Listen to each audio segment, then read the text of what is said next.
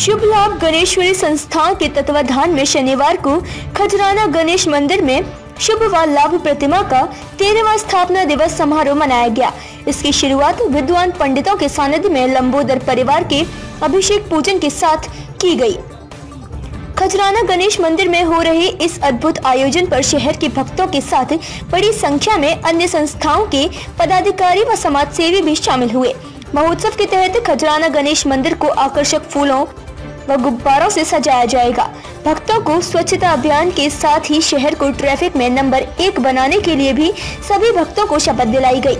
शनिवार को होने वाले इस आयोजन में लंबोदर का परिवार डायमंड और नगीनों की पोशाकों में नज़र आए। खजराना गणेश मंदिर में चढ़ाई जा रही चांदी की पोशाकों में डायमंड और नगीनों से नक्काशी की गई जो यहाँ आने वाले भक्तों के लिए आकर्षण का केंद्र रहेगी।